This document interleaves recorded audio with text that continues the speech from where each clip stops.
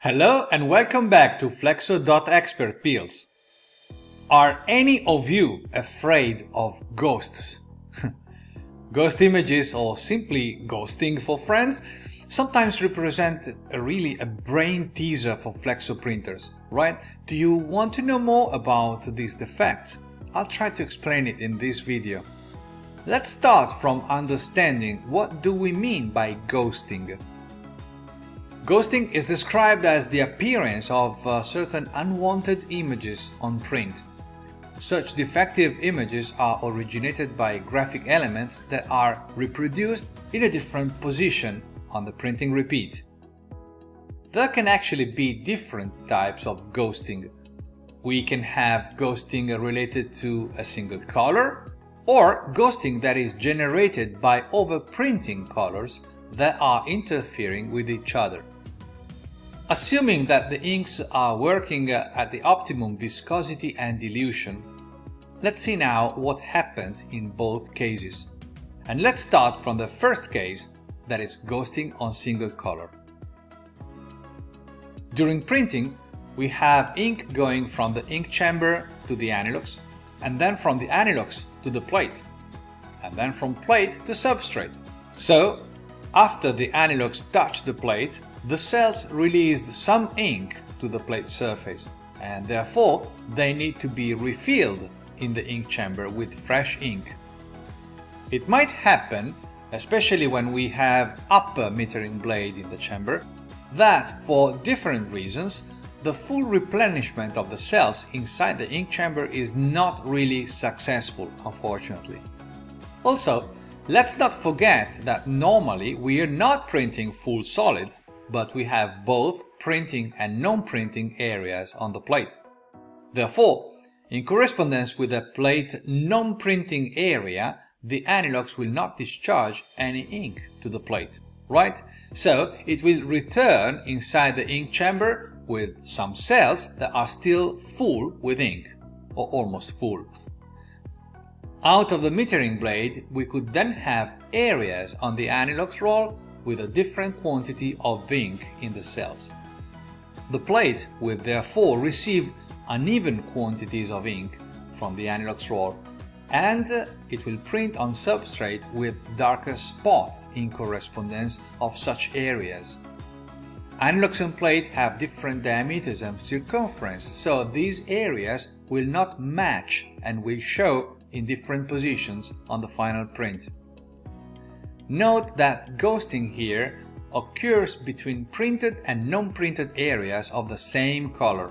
In fact, the correct color is the darkest one, while the lighter area is so because the ink has not been refilled correctly due to insufficient filling of the anilox cells.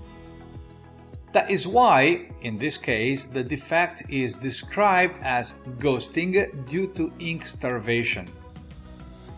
What to do? Well, avoid too deep Anilox engravings. They won't reload and release ink efficiently.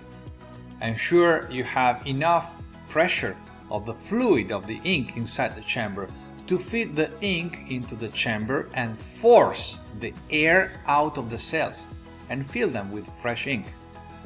Ensure you have enough uh, wet gap, that is the distance between the two blades that determines the time allowed to the anilox to replenish the cells. You know the ratio between the anilox's diameter, the printing speed and therefore the rotations per minute of the anilox's roll and this wet gap opening are fundamental parameters to ensure inking efficiency in Flexo.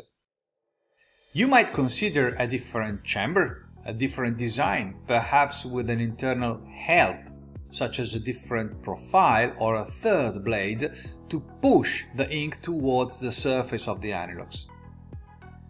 But there's another type of ghosting that happens because of interaction between colors, and let's see how it works.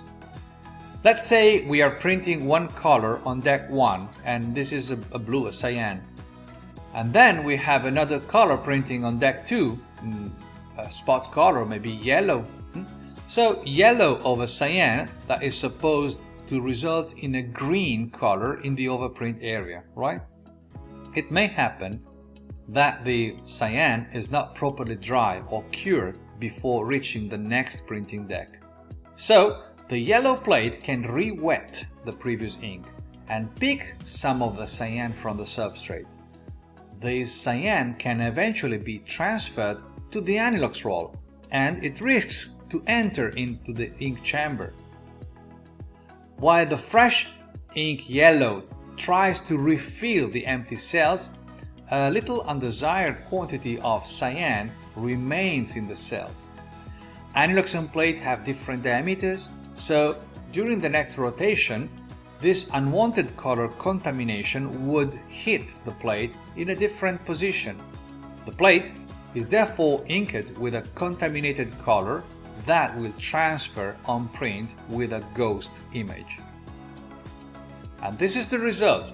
So here the issue is not much related to inking efficiency, but rather to drying or curing and re-wetting and picking a previously printed ink. So here we have an interaction between a cyan that is not ready to receive the second color and a yellow that re-wets the previous color and collects a little quantity of it. That's why this defect is described as ghosting for re-wetting or ink picking. And what can we do here now? Number one, avoid to use Anilox rolls with too high volume. Lower volume means better drying or curing of both inks, especially the first one, and less re-wetting capacity of the second ink over the first one. Help the first ink down to dry, so limit the use of any additives that can inhibit drying, like uh, defoamers, antifoam in water-based inks. Increase drying between the printing decks, maybe leaving, if possible, empty decks with active drying. Well, of course you can also slow the speed, but maybe you don't like this option. Of course, it is always better to prevent from such defects to happen with a proper optimization of the printing system rather than trying to fix the defect when it occurs.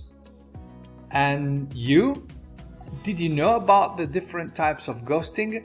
Uh, is there anything else that you do to prevent from uh, this annoying problem? Share your comments if you like and let me know what you think about this issue, okay? And I hope this video was useful for you and don't forget you can take your basic training in flexography on flexo.training and if you need any more advanced or customized training or system calibration, you're welcome to contact me at any time. Ciao!